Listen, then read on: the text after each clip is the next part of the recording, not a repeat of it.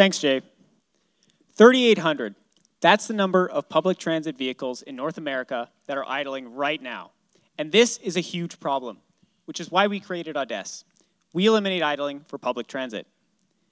In North America, the 50,000 vehicles can idle for up to 60% of their day, and this has huge implications. Every day, we waste $220,000 in fuel, $12.4 million in maintenance, and emit 160,000 cars worth of greenhouse gases. This is every single day. Idling for these types of vehicles used to be the standard, but it shouldn't be this way anymore. Idle reduction technology works. Yeah, the clicker's broken. Sorry. Modern vehicles are more reliable than ever.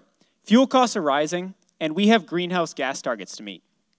Audesse brings over 40 years of automotive research and development experience, which we've utilized to develop our product today.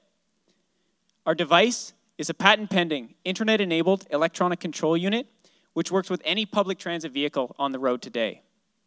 We have the only device running a proprietary algorithm, which takes active control of the engine to shut it down when it's idling and restart it when necessary. Our device is maintenance free for the lifetime of the vehicle, and its internet connectivity allows for a client portal and future software updates. We have a proven track record of reducing total fuel costs by 4.5%, and we anticipate maintenance savings of 8.2.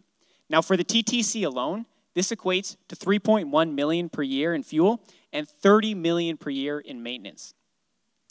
Now there are 2 million compatible public transit vehicles on the road today, and when we price our device with a two-year payback period, this gives us a total addressable market of $10 billion. Traction with our local pilot partner, Grand River, has been great. We've outfitted both their conventional and mobility vehicles with pre-production prototypes, and we're currently gearing up to outfit the rest of their mobility vehicles with a production-ready unit. Fleet managers are excited to work with, with, us because we are the fastest and easiest way for them to greenify their fleets. 2020 will begin with the introduction of two new partners in the States and Canada.